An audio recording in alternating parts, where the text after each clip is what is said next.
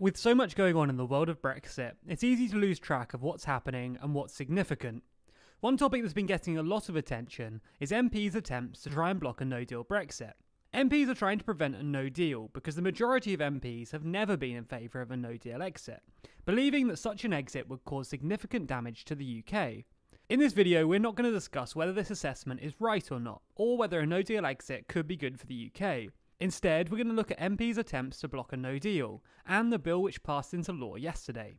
This is something we discuss more in our podcast, along with a bunch of other interesting topics. Don't worry, none of that will be included in this episode, but if you do want to check it out, there's a link to the podcast down below. We're still in the process of getting the show listed on all platforms, but there's a link to the YouTube channel and a web page where you can find the latest list of where the podcast is available down in the description. Oh, and there's also an RSS feed on that page, so you can chuck that link into a whole bunch of podcast apps. Anyway, onto this video. As I mentioned a moment ago, MPs have never really liked a no deal, but attempts to block it have increased in volume since Boris Johnson has become the UK's Prime Minister. Johnson claimed to be okay with no deal ever since his candidacy, believing that no deal should be used as a negotiating tool to try and get the EU to cave in negotiations. Some have even claimed that Johnson isn't just using no deal as a negotiation tool, and that he actually wants a no deal exit instead of a deal. So, to try and stop this, MPs have attempted to legally prevent Johnson from going for a no deal Brexit using the Benn Bill. Last week, MPs voted to take control of the schedule of the House of Commons. Then they used that time to debate and pass the bill through the House. Then the Commons handed the bill back over to the House of Lords, who also debated the bill and then handed it back to the Commons. If all that passing around sounds confusing, we have a video which explains how laws are passed in the UK, and there's a link to that down below. Essentially, though, the MPs in the House of Commons and the Lords in the House of Lords have agreed to the bill. So then it was taken to the Queen for her to grant royal assent, essentially passing the bill into law. This happened yesterday evening, which means that as of that moment, the Benn Bill became law, making it harder or impossible, depending on who you ask, for the Prime Minister to seek a no deal Brexit. So let's take a moment to refresh ourselves on what the Benn Bill actually does. The bill requires the government to do one of two things either reach a new deal with the EU by the 19th of October, or get Parliament's approval for a no deal by the 19th. If the Prime Minister fails to do either of those things, the bill would require the government to request an extension from the EU, with the bill suggesting that the new deadline becomes January 2020. Ultimately, it will be up to the EU to choose the new date, but the Commons does get to approve the date that the EU picks. So now it's up to the Prime Minister to either reach a new deal that Parliament likes in the next month, or suddenly persuade Parliament to accept a no deal.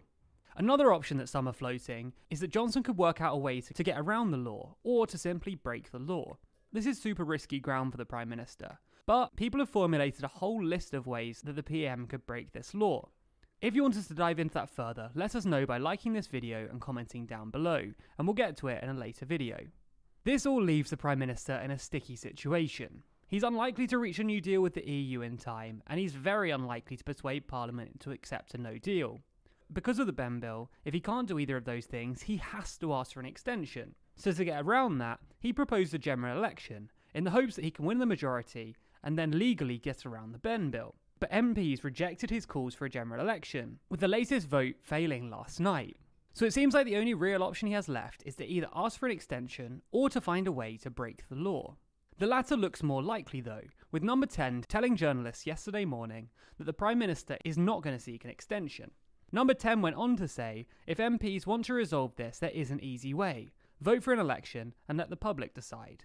However, as we said, to the Prime Minister's disappointment, later that day, they voted against his election for a second time. Order! Order. Ayes to the right, 293. The noes to the left, 46. That's less than last time. Yeah.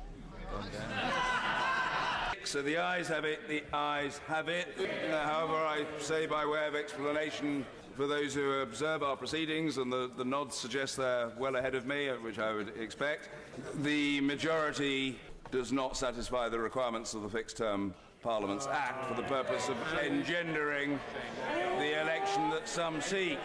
This marks the sixth vote that the Prime Minister has lost in his time in office, an unenviable record. With MPs not sitting again until mid October, this completely rules out the potential for an October election, and makes the earliest Thursday the election could be called on November 21st, way after the current Brexit deadline. So the paths ahead don't look good for Johnson, with few positive routes left for the PM. As I said earlier, if you want us to explore the eight ways we think that Johnson could get around MPs and still go for a no deal, then let us know by liking this video and commenting down below. For more on this and all of the other drama, check out the latest episode of the podcast, linked down below. While you're at it, if you want to be updated on our latest videos, then be sure to subscribe to us on YouTube. You can also hit the bell icon if you want to be notified every time we release a video. Also, if you want more of us, you can find TLDR across all social networks simply by searching for TLDR News. And if you want your name featured at the end of the videos, just like these people, then you can back us on Patreon. There's a link to that in the description.